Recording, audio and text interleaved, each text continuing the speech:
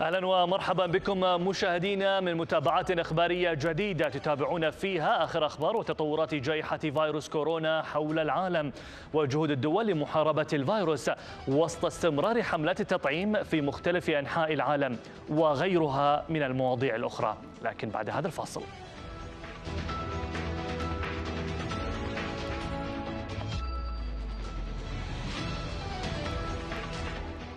إذا مشاهدينا وبالنسبة لآخر إحصائية لإصابات كورونا حول العالم فقد بلغ إجمالي مصابي كورونا حول العالم أكثر من 182 مليون مصاب بكوفيد 19 حول العالم. أما بالنسبة لحالات التشافي والتعافي فقد بلغوا أكثر من 167 مليون حالة تشافي وتعافي ولله الحمد بنسبة 91% أما بالنسبة لحالات الوفاة بسبب كوفيد 19 مشاهدينا فقد بلغت أكثر من 3 ملايين و900 ألف حالة وفاة بكوفيد 19 بنسبة 2%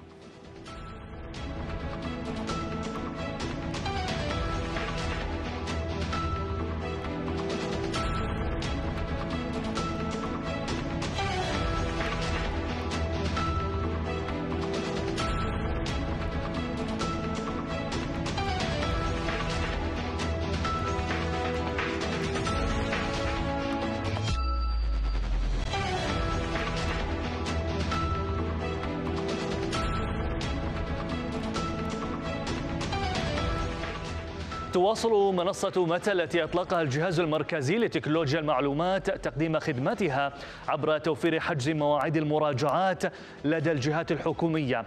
المنصة تم إطلاقها مع بداية ظهور وباء كوفيد 19 والظروف التي فرضتها الجائحة وذلك بهدف التعاطي مع متطلبات توفير الاشتراطات الصحية وتحقيق التباعد البدني بين المراجعين لدى الجهات الحكومية. أعلنت وزارة الصحة التونسية اليوم عن تسجيل 106 حالات وفاة جديدة جراء فيروس كورونا كوفيد 19 إلى جانب تسجيل 5251 إصابة جديدة في الساعات ال 24 الماضية. وقالت الوزارة في بيان حول الوضع الوبائي بتونس إن العدد الإجمالي لحالات الوفاة منذ ظهور الجائحة بلغ 14843 حالة. فيما أعلنت السلطات الصحية التونسية اليوم تمديد حظر التجول الجزئي في جميع أرجاء البلاد لمدة ستة أسابيع مع التغيير إذا اضطرت لذلك. أعلنت شركة موديرنا الأمريكية أن لقاحها ضد فيروس كورونا كوفيد 19 أظهر نتائج واعدة ضد سلالات جديدة من الفيروس بينها متحور دلتا الهندي ومتحورات أخرى. ظهرت أول مرة في دول إفريقية. وأوضحت الشركة في بيان أن اللقاح أنتج أجساما مضادة للسلالات المتحورة الجديدة من الفيروس لدى ثمانية أشخاص بعد أسبوع واحد من تلقيهم الجرعة الثانية من التطعيم.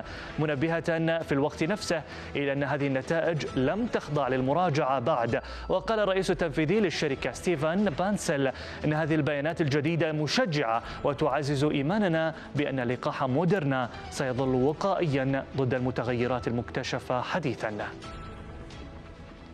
خلافا للإرشادات الصحية الحالية في الولايات المتحدة التي تسمح لمن تم تطعيمهم بالكامل ضد كوفيد 19 بالتخلي عن الكمامات. يوصي بعض مسؤولي الصحة المحليين باستمرار ارتداء أقنعة الوجه الواقية في الأماكن المغلقة بسبب تفشي متحور دلتا شديد العدوى. وحثت إدارة الصحة العامة بمقاطعة لوس أنجلوس في كاليفورنيا بشدة جميع السكان بغض النظر عن حالة التطعيم على ارتداء كمامات في الأماكن الأماكن المغلقة مثل المتاجر والمسارح ومراكز الترفيه العائلي. وأماكن العمل عندما تكون حالة التطعيم العمال الآخرين غير معروفة. ووفق بيان صادر عن الإدارة مع تفشي المتحور دلتا يجب على الجميع التركيز على أقصى قدر من الحماية مع الحد الأدنى من تعطيل الروتين حيث تعمل جميع الشركات من دون قيود أخرى مثل المسافة الجسدية وحدود السعة. قالت لجنة الصحة الوطنية أن البر الرئيسي الصيني أعطى أكثر من 1.2 مليار جرعة من لقاحات كوفيد 19 حتى نهاية اليوم. كما افتتح موقع جديد للتلقيح في كومنينغ بمقاطعة يونان جنوب غرب الصين. ويعد الموقع الأكبر في المقاطعة ويمكنها أن يستوعب أكثر من عشرة آلاف شخص في اليوم. ففي الوقت الحاضر وصل معدل تطعيم الجرعة الثانية في المدينة إلى أكثر من 90% قال باحثون أن الجرعة الثالثة المعززة للقاح أكسفورد أسترازينيكا تنتج استجابة مناعية قوية مضيفين أنه لا يوجد دليل على أن مثل هذه الجرعات كانت ضرورية في ضوء النقص في بعض البلدان. كما قالت الحكومة البريطانية أنها تدرس خططا لحملة الخريف للحصول على لقاحات معززة لفيروس كورونا. وحتى الآن حصل ثلاثة أخماس البالغين في المملكة المتحدة بالفعل على جرعتين من لقاح كوفيد 19 وأظهرت الدراسات سابقا أن الحقنة لها فعالية أعلى عندما تتأخر الجرعة الثانية إلى 12 أسبوعا بدلا من أربعة أسابيع. قال وزير الصحة الفرنسي أوليفييه فيران لراديو فرانس إنفو أن متغير دلتا من فيروس كورونا كوفيد 19 الذي تم العثور عليه لأول مرة في الهند. يمثل الآن حوالي 20% من حالات كوفيد 19 في فرنسا. وقال فيران أنه يستمر في الزيادة في بالنسبة المئوية وليس بالأرقام المطلقة لأن العدد الإجمالي للحالات يتناقص.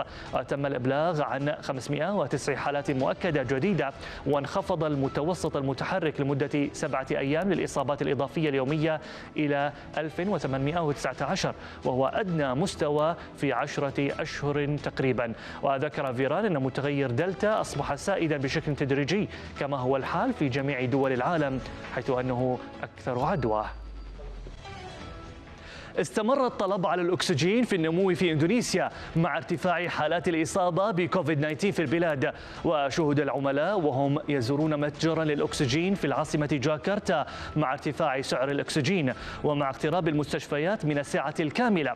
يتم رفض عدد متزايد من المرضى ويطلب منهم عزل أنفسهم في المنزل بدلا من ذلك مما يزيد من الاندفاع لشراء الأكسجين. كما أبلغت إندونيسيا عن تسجيل عدد قياسي من الإصابات اليومية بكوفيد 19 لأكثر من 20 ألف إصابة في الأيام الأخيرة في موجة جديدة من الحالات التي غذتها ظهور متغيرات فيروسات شديدة العدوى وزيادة التنقل. أبلغت بريطانيا عن 22868 حالة إصابة أخرى بفيروس كورونا في آخر 24 ساعة وهو أعلى مستوى منذ 30 من يناير من هذا العام وفقا للأرقام الرسمية الصادرة. كما سجلت البلاد ثلاث حالات وفاة أخرى مرتبطة بفيروس كورونا ليصل العدد الإجمالي للوفيات المرتبطة بفيروس كورونا في بريطانيا إلى أكثر من 128 ألف حالة وفاة. يذكر أن بوريس جونسون أعلن عن تأخير لمدة أربعة أسابيع للخطوة الأخيرة من خارطة طريق إنجلترا للخروج من قيود كوفيد 19 حتى التاسع عشر من يوليو وسط زيادة في حالات متغير دلتا الذي تم تحديده لأول مرة في الهند. تلقت هندوراس مليون ونصف جرعة من لقاح مودرنا من الولايات المتحدة كجزء من التسليم الأولي للجرعات من خلال برنامج كوفاكس الدولي مشاركة اللقاحات الشحنة جزء من 80 مليون جرعة أمريكية. تعهد الرئيس جو بايدن بمشاركتها مع دول أخرى حول العالم إما بشكل مباشر أو من خلال برنامج كوفاكس. ففي الأسبوع الماضي وضع البيت الأبيض خطته لمشاركة 55 مليونا من أصل 80 مليون جرعة. لقاح اللقاح لكوفيد 19 في الولايات المتحدة على مستوى العالم مع تخصيص ما يقرب من 75% من الجرعات لأمريكا اللاتينية ومنطقة البحر الكاريبي وآسيا وإفريقيا. انتهاء هذه الفترة الحرجة ورفع الإجراءات الاحترازية وغيرها من الإجراءات الأخرى. يعتمد على التزامنا بتعليمات والإرشادات الصحية بمكافحة فيروس كورونا. والتطعيم الحل الأقرب الذي سيقودنا إلى بر الأمان بإذن الله والخروج من هذه الجائحة بأسرع وقت ممكن وعودة الحياة إلى طبيعتها مرة أخرى بإذنه تعالى. دمتم بحفظ الله ورعايته.